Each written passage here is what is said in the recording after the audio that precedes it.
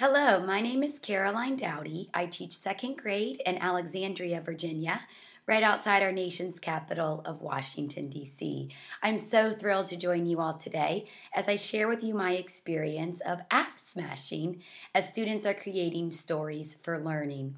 App smashing is a technology integration technique where students take more than one app to create an original product. The most important thing about app smashing is that students are creating. They are creating a project in one app, creating something different in another app, taking those two projects, smashing them together for one final work. Still don't understand? Let's have some second graders further explain. Is when you put a lot of apps together and smash it into one big project.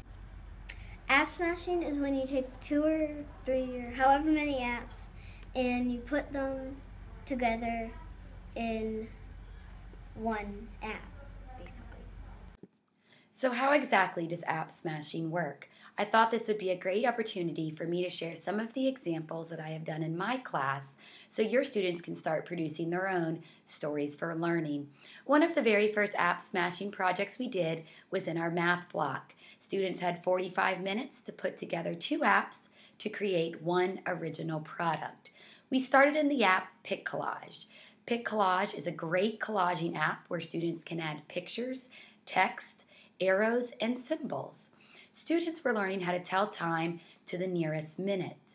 The first step students did was use Pic Collage to create to take a picture of a blank clock.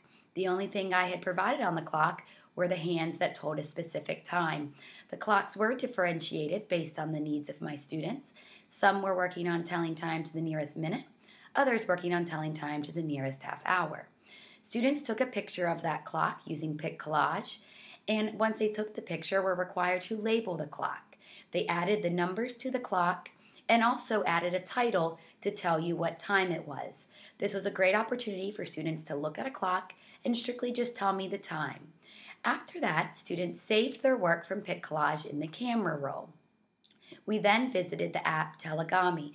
Tellagami is an avatar app where students can create an original avatar and record themselves speaking over the avatar for at least 30 minutes.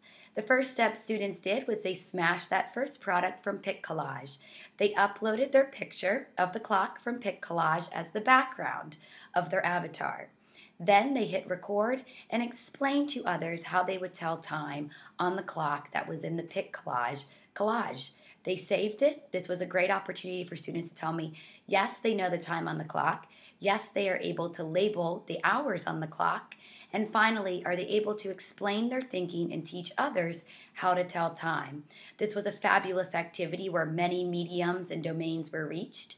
In addition, we shared our learning at the end of the day, and students were able to tell their other students, their classmates, how they did, what did they like best, how were they able to help others and teach them how to tell time? Need another example? Let's go back to my students and they will further explain how they use pic collage and Tellagami in an app smash. Well, first I I got a sheet of a a time a clock and then I took a picture of it and I cut it out and then I labeled uh, the clock's hours and put my name and the, the time.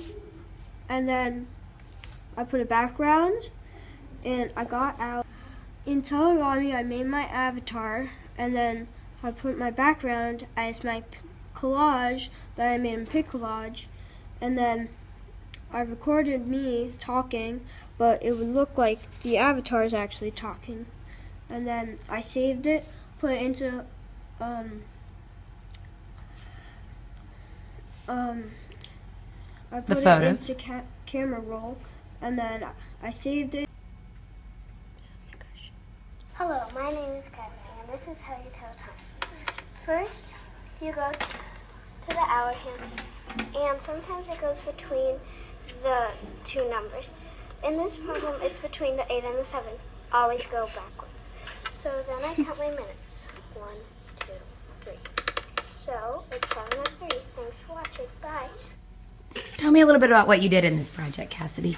The, we did, we put pic collage and we photographed a clock and it labeled the minutes and told what time it was and told um wrote clock there. And then in Tellagami we um recorded our voice for less than 30 seconds and talked about um talked about how you tell time I truly believe that digital storytelling can enhance one's learning and understanding.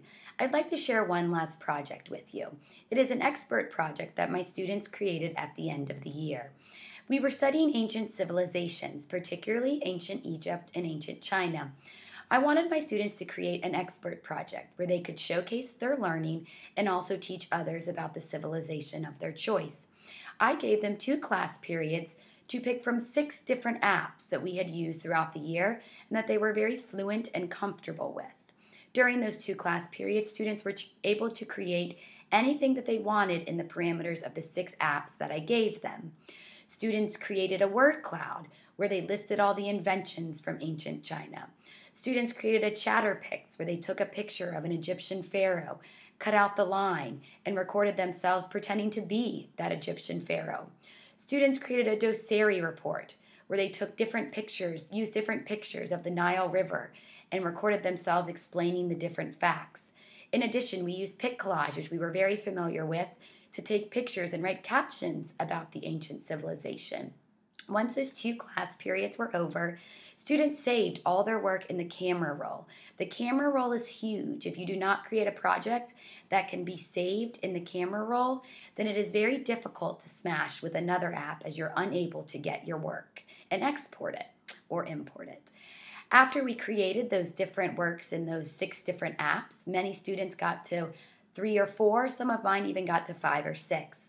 We used the interactive whiteboard app explain everything, where you can import different pictures, where you can import different videos, where you can even include videos of yourself. Students took all of their original works that they had made, put them on a different slide of explain everything, and then recorded themselves explaining the entire thing. This project was wonderful. It gave students an opportunity to work with different mediums and different apps. So sometimes it was a drawing app, Sometimes it was a word app. Sometimes they were recording themselves moving. You are really hitting a variety of intelligences, mediums, and domains. And then at the end, they have this wonderful project where they have showcased everything that they have learned throughout this unit. And then at the end, the students were able to watch each other's and talk about okay, what did I learn that was new from this person's app? What would I recommend that they would add next time? My students loved this. It was a great way to end of the year. And I hope now that you'll have a chance to see why it was so productive and so wonderful to do in my class. We did this app smashing project to tell each other more about Egypt and what we know. Well, first we went to Chatterpix and we did either talking pyramid, um, talking pyramid or pharaoh, which is an Egypt king. We did word cloud to list vocabulary words. Then we used explain everything to put all the apps together.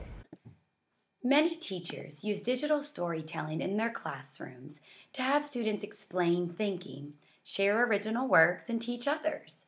I'd like to share why I think app smashing enhances stories for learning. One, it boosts critical thinking skills. For example, the time telling app smashing activity I shared at the beginning of the presentation, where students had to smash together a picture of a labeled clock and uh, over their oral explanation of the time. Sure, I could have had my students complete a worksheet where they had to label a clock and write the time underneath the clock. In addition, I could have had an open response question where my students wrote down their thinking. However, this wasn't a writing activity for my students, nor was I looking at who could best write an explanation. I wanted to hear what my students were truly thinking when they first looked at that clock. What was the first thing that came to mind? How did they process all the numbers on the clock? In addition, when I asked students to record themselves teaching others, they were forced to think critically about how to best explain it in a concise and coherent manner. In addition, App Smashing embraces creativity. When students are given a chance to use different apps, it's amazing what they could create. For example, when my students created the expert projects on ancient Egypt and China, you were really able to see what was important to these students. What did they really take away? How did they use the ancient Chinese inventions to teach others? It was funny. Some of my students had talking fireworks, where the fireworks would explain how they were invented in ancient China and what they were used for.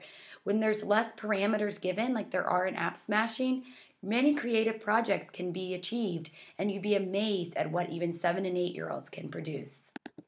We've seen the effect that digital storytelling can have on a student's oral storytelling abilities, but also their fluency and expression. I work in a school where there is a high English language learning population, and many of my students are learning English for the first time. Wow, I was amazed at what App Smashing could do to help increase their oral and English language abilities.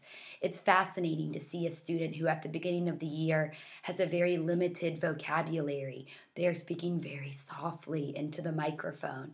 And then by the end of the year, they're, oh, they can't fit their explanation under the 30 seconds that they might need in a certain app. They are so excited to hear their voice. They're so excited to share their voice for the first time. App smashing can also help some of your struggling readers who are working on fluency and expression. The more they are reading, the more they are able to hear their voice and focus on their strengths and weaknesses, the more improvements that we see. Stories for learning can reinforce one's thinking. When students are required to explain their thinking in new ways, a greater understanding is achieved. For example, when we smashed with the clocks, I could have given my students a paper with clocks and asked my students to label the time. However, when my students were asked to orally teach each other, I was able to see who understood the strategies behind telling time, who was using the skip counting by five strategy. In addition, when my students are retelling stories of their learning, it helps my students better internalize their learning, so their learning is less of a strict recall of facts. Lastly, app smashing reaches different intelligences, domains, and mediums. For example, when my students were creating the expert project on ancient Egypt and China, they were given six very different apps. One of the apps was a writing app, one of the apps was a drawing app, many of the apps were speaking apps. Therefore, my students were having to explain their learning in many different ways. This also helps with students who have different needs, who are unable to do the writing or unable to do the speaking. They also have different options. Also, regarding the time example that I showed at the beginning of the presentation, in that one 45 minute period, students were labeling the clock, students were writing the time, and students were orally explaining their thinking. That is three different ways that I was able to assess, assess them in one class period. How much more powerful could you get? I hope I have shared with you some ideas on how you can incorporate app smashing in your own classroom to enhance your stories for learning. Thank you all so much for joining me today. I would love to hear about your app smashing experiences or answer any questions to help you have a successful app smash. I want to leave you with some final thoughts from some of my second graders on why they think you should app smash in the classroom. Best of luck for a great year. Thank you. App smashing helps be, people, students become better because it helps them understand the subject that they're app smashing about a little bit better than they had before. Because it helps you explain your thinking more than it does on a plain worksheet. Because on worksheets, they're always, the worksheets sometimes can be small and you won't have enough room to explain your thinking. But with app smashing, you have a lot of room to do your thinking. And second, because it's fun, because you get to create your own collages and create your own project. Um, I think it's creative because you get to create whatever your mind desires and have fun with it. Well, it requires students to think about the apps more instead of just pressing random buttons to do only one app. You have to press multiple buttons and actually focus on what you're doing with the app. App smashing rocks. Da-na-na.